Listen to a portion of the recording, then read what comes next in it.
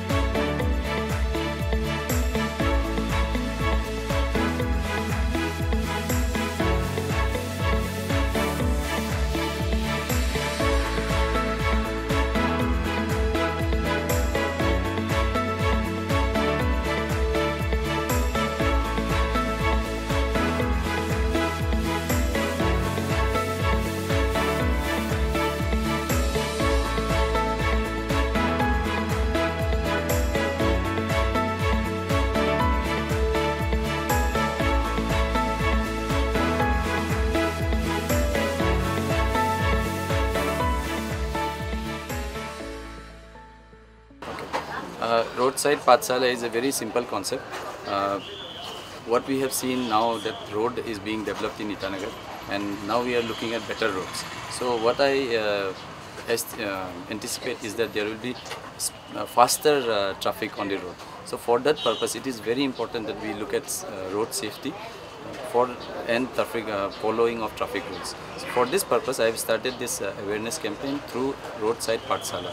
So this Pathshala has been created just for the public so that they can come in and they can uh, get details of road safety, how to follow road safety, how to follow road traffic rules and which are the important rules that you should follow and uh, what penalties also you can have in terms of uh, uh, your offences and also give little bit details of what has happened uh, in the past. For example, uh, we can see that 634 people uh, have been killed in road traffic accidents since 2016. So this is something which is very alarming. We want to reduce this. So this is an initiative for the road safety and for uh, better following of road traffic rules. Sir ये जो commuters है यहाँ पे वॉल्टरली आ रहे हैं ना आप लोग लेके आते हैं उन लोग ये कुछ वायलेटर्स हैं सो in place of offences uh, in place of chalaning we are uh, following a, a traffic uh, safety rules uh, class. But however this is not just for them. We will also be bringing different kinds of participants uh, from various uh, places. Like uh, we can we will get in students uh, public who are interested ngos and anybody else who wants to come in. And they, everybody is invited to this uh, pathshala.